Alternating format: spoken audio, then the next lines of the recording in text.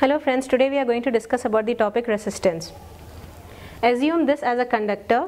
In a conductor we have two types of charges, positive and negative.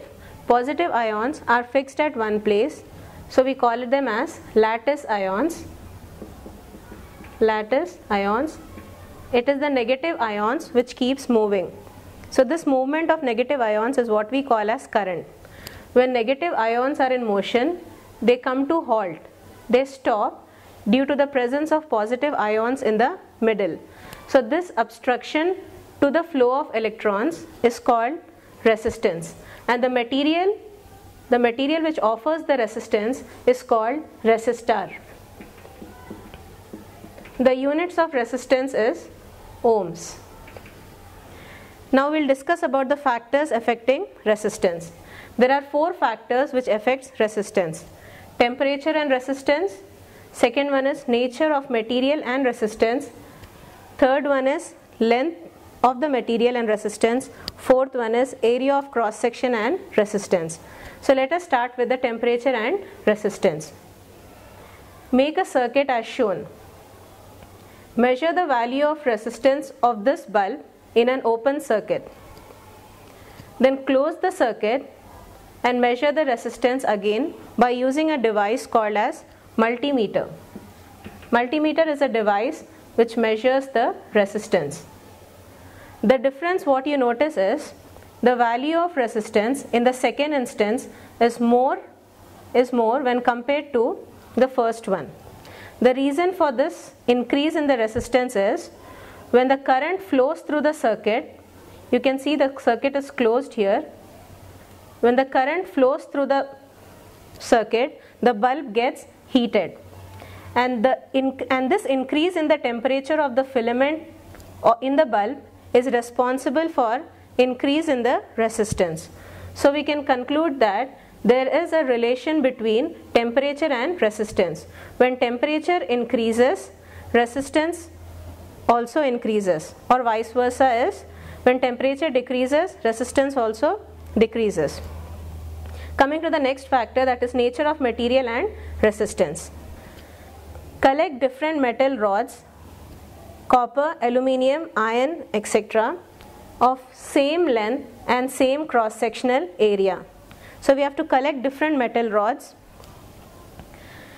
and we have to make a circuit as shown. You can see this is the conducting wire, battery, ammeter and a switch which is open now and P and Q are the two open terminals of a circuit. So one of the metal rod which we collected either copper or aluminium attached between the two free terminals that is P and Q. After keeping here switch on the circuit. Switch on the circuit and measure the current value using ammeter. Ammeter is a device which measures the current. Repeat this. Repeat this. Now you can take out this copper rod and in place of copper you can place some other metal, aluminium or iron. Repeat this with different metal rods.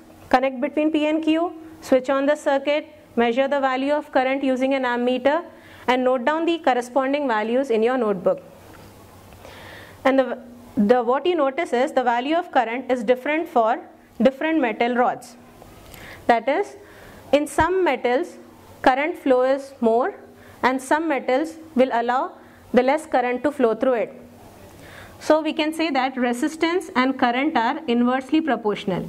If the resistance offered by the metal is more, the current flow will be less and if the resistance offered by the metal is less then the current flow through that metal will be more.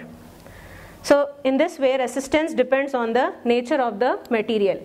Now coming to the third factor that is length of the conductor and resistance. Resistance denoted with the letter R. Now in this case we have to collect iron spokes of different lengths say 15 centimeter, 10 centimeter, 5 centimeter with same cross sectional area. Different lengths but same cross sectional area. Now we have to uh, make a circuit same as we have done for the factor 2. PEQ, two open terminals, battery, ammeter, device for measuring current and a switch. Now from this iron spokes, we can take one of it. For example, if we take 15 centimeter, we have to place it between P and Q, switch on the circuit and measure the value of the current. In the same way, repeat this with different iron spokes, 10 centimeter, 5 centimeter. Keep it here, switch on the circuit, measure the value of current, note down the corresponding values. What you'll notice is the value of current decreases with increase in the length. That means if length of the iron spoke is more, current flow will be less. So by this we can say that if length is more, resistance offered is more. So that is the reason why current is flowing less. And if length is less, current flow will be more. So resistance offered by the iron spoke will be less. So in this way, we can uh, conclude that resistance is directly proportional to length. More the length, more is the resistance offered, less the length, less is the resistance offered.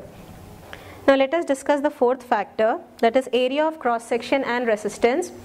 Here you have to collect different iron rods with different areas but same length. So here we have different cross sectional areas but the length is same. In the previous one, we were having different lengths but same cross sectional area. Here the opposite. Okay, the second point is same as we have done with the other two factors like uh, take one of the iron rod, fix it between P and Q, switch on the circuit and measure the value of current using an ammeter.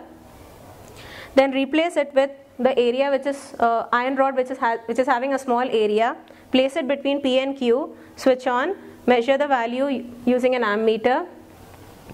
Now the, the difference what you notice is more the bigger the area, current flow will be current flow will be more and resistance offered will be less.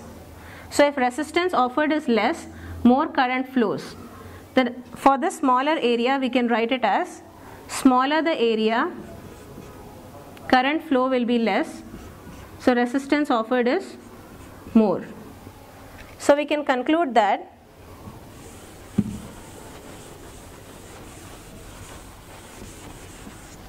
resistance and area are inversely proportional are inversely proportional to area less area more resistance. You can see here less area, resistance offered is more. Now let us take this one as equation 2 and this as equation 1. Now if we substitute or you can say uh, from equation 1 and 2 from equation 1 and 2 we can write R proportional to L by A.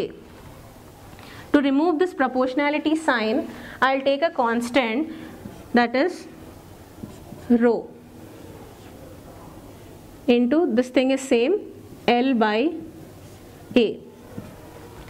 This R you know it's a resistance, L is length of the material and A is the area of cross section where this rho is nothing but we call it as specific resistance or resistivity.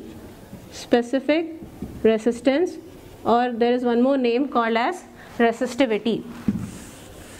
Now if you take resistivity or specific resistance to one side and the remaining things to the other side that is rho is equals to a was in denominator if it goes to the other side it comes in numerator so r into a by l l was in numerator so it went to the other side denominator now uh, if you write the units for this specific resistance, let us write the units. Specific resistance rho is equals to resistance unit we have discussed earlier it's ohms. So let me write ohm here into area unit is meter square. Why meter square? Because area is equals to length into breadth. Length is measured in meters, breadth also measured in meter. So meter into meter will be meter square. That is the reason in place of A we are writing meter square by length unit is meter. So now you can see meter and this uh, square one gets cancelled and then we'll be having like rho is equals to ohm into meter. We can keep ohm into sign or just we can uh, write it as ohm meter. So this is the unit, ohm meter is the unit for specific resistance. Now this reciprocal of specific resistance is what we call as conductivity denoted with omega. Conductivity. So reciprocal of resistance is conductivity. The material with low resistivity material with low resistivity are good conductors. Example copper metals they are used for making the electric wires. And the metal tungsten which is denoted with letter W, the metal tungsten has the high resistivity value which is used for making filament of electric bulb and it has high resistivity value and melting point that is 3422 degrees Celsius. By this we end our topic. I hope you all understood this.